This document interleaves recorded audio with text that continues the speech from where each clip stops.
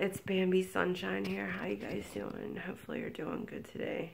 Not feeling so great. Yesterday I went to bed early, so I forgot to post about um, day 12. Day 12 is a rest day. I hope you enjoyed that rest.